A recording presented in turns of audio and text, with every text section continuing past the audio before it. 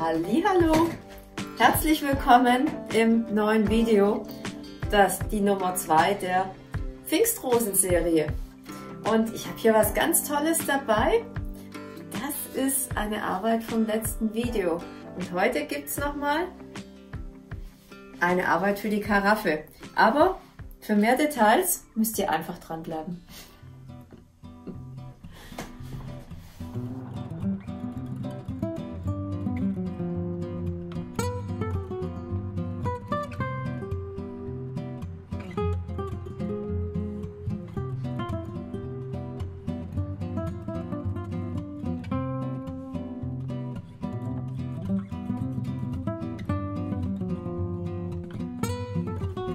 Ja, wie gerade schon eingangs angedeutet, äh, habe ich jetzt hier eine Arbeit mit um die Ecke gebracht. Das ist eine wunderschöne, richtig tolle alte Suppenterrine, so richtig von Oma mit so einem Deckel und die habe ich mit einem Pfingstrosengesteck gefüllt, mit der schönen Sorte Bowl of Cream und heute gibt es nochmal passend dazu ähm, eine, ein Pfingstrosenarrangement in dieser tollen, das ist eine alte Zinkkanne, ja, die finde ich auch herrlich, ja, und das ist alles, das könnte jetzt alles so aus einer Zeitschrift, die äh, so ländliche Blumen- und Gartendeko-Ideen zeigt und ich war auch so völlig inspiriert, habe diesen bepflanzten Topf daneben gestellt, der auch was Schönes Abfließendes hat.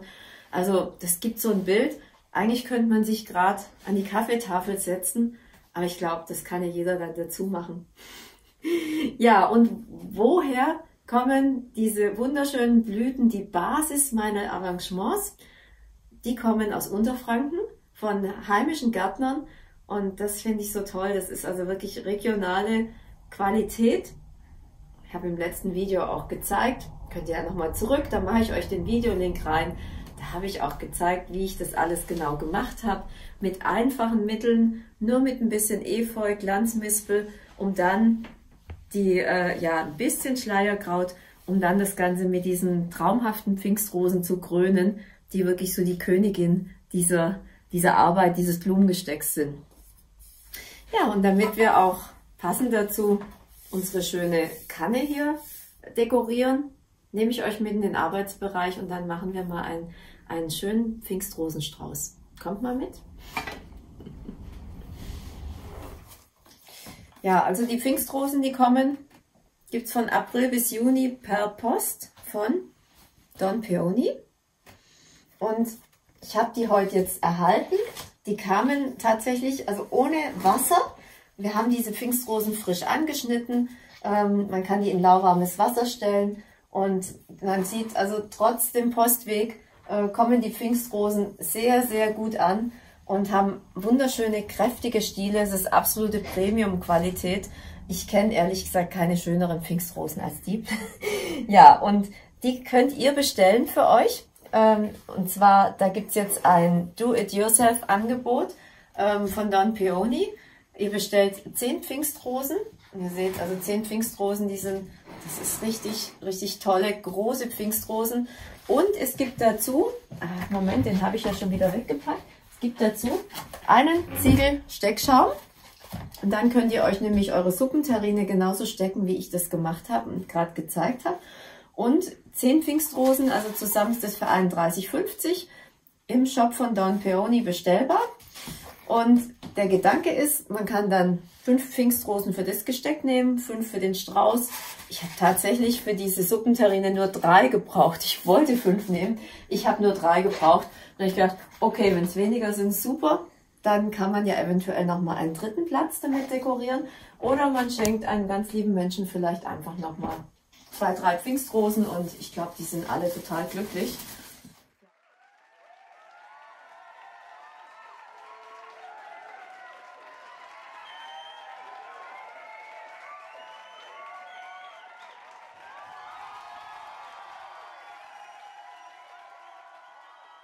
Ja, herzlich willkommen zu unserem neuesten Video von Don Peony. Wir stehen heute im Don Peony Schaugarten und ähm, haben hier eine dreijährige Kultur stehen. Und ich werde euch heute mal zeigen, wie man durch das Entfernen der Seitentriebe einen deutlich größeren Haupttrieb ähm, äh, erzeugen kann.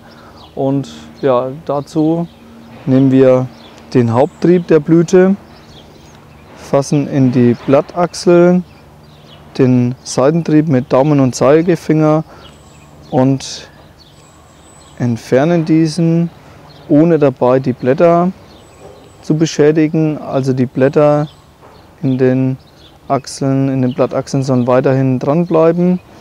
Einmal wegen der Zierde und dass sie weiter gute Assimilationsfläche hat. Und dann bildet sich der Haupttrieb umso schöner und größer aus und die Blüte wird umso größer. Das kann man bei jeder Sorte machen. Von Sorte zu Sorte ist die Ausprägung der Seitentriebe sehr unterschiedlich. Es gibt Sorten wie zum Beispiel Coral Sunset, die eher weniger Seitentriebe machen oder Red Charm, die eigentlich gar keine Seitentriebe machen, die von Natur aus schon nur einen Haupttrieb haben. Es gibt aber auch Sorten wie zum Beispiel Duchesse de Nemours, ja, die in manchen Jahren bis zu sieben, acht, neun Seitentriebe haben. Und wenn man natürlich die dann entfernt, hat man umso einen kräftigeren, schöneren Haupttrieb und eine, damit eine größere und schönere Blüte.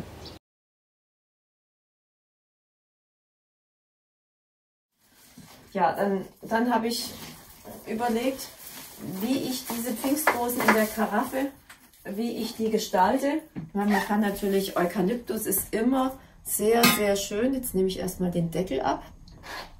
Eukalyptus ist immer sehr, sehr schön. Und was natürlich auch ein traumhaftes Grün ist, das ist die Glanzmispel. Und ich nehme jetzt einfach mal einen Stiel raus. Ne, ich schneide ihn raus, sorry. Ich nehme jetzt einfach eine Schere und schneide mal einen Stiel raus, weil sonst muss ich hier so viel, so, jetzt muss ich hier so viel auseinandernehmen. So, immer die Blätter unten ab. Und dann hätte ich auch gar noch einen Stiel mit mit diesen schönen, knospigen Blüten. So, den hole ich mal klar so raus.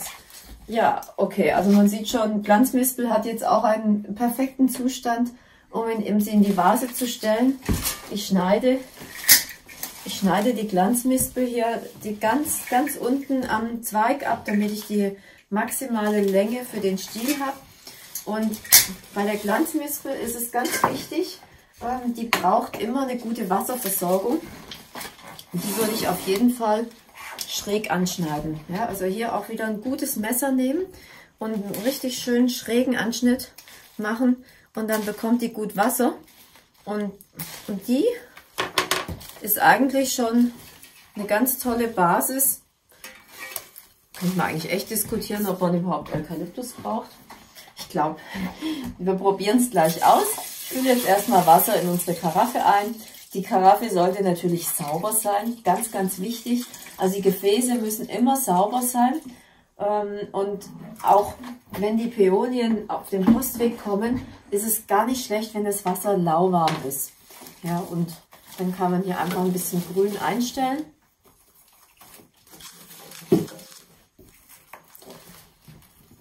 Tja, das sind immer so Gedanken, gell, was ich so mache. Ich überlege mir immer im Video dann, was ich eigentlich welches Grün ich mag. Das ist jetzt der Eucalyptus Baby Blue.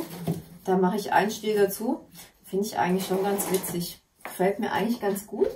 Und dann suche ich mir, um euch die schönste Wirkung zu zeigen, suche ich mir die offensten Blüten raus.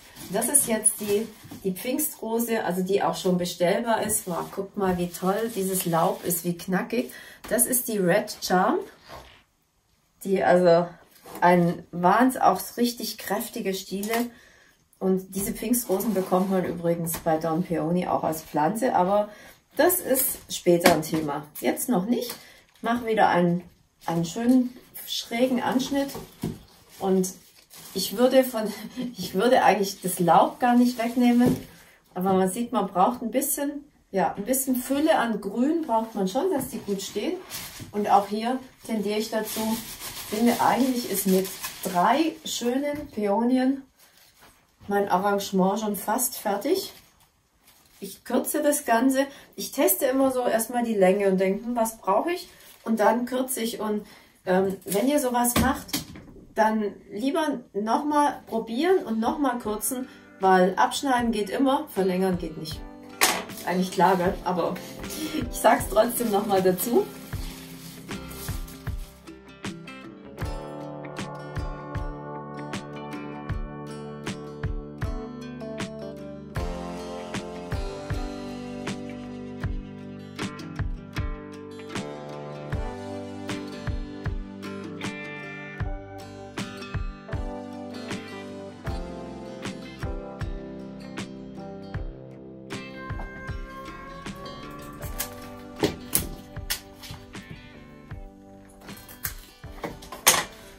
So, also ihr seht, ich schneide die Pfingstrose dann immer, äh, überlege schon, welch, in welche Länge ich sie schneide, schneide sie dann zurecht.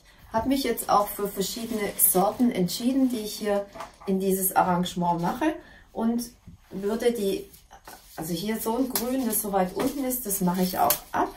Ja, das tue ich weg und so, die, äh, die, die mittlere Pfingstrose die kann ruhig etwas erhaben sein in der Gestaltung, dass sie gut gesehen wird.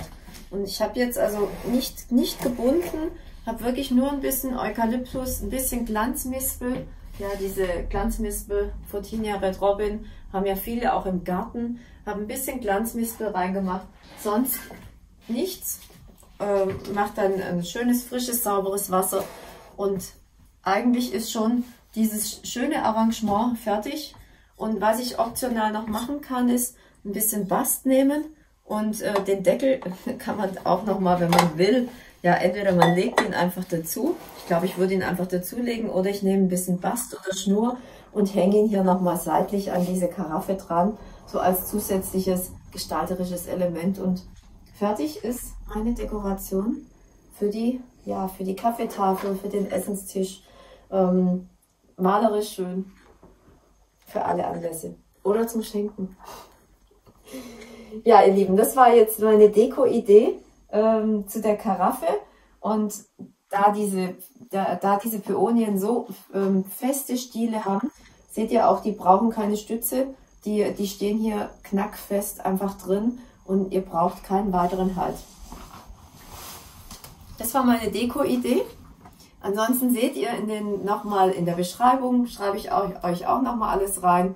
Ähm, ich schreibe euch rein, wo ihr es bestellen könnt und ich wünsche euch einfach ganz viel Spaß beim Bestellen, beim Nachmachen und ich wünsche euch eine wunderschöne Pfingstrosenzeit. Tschüss, eure Margit.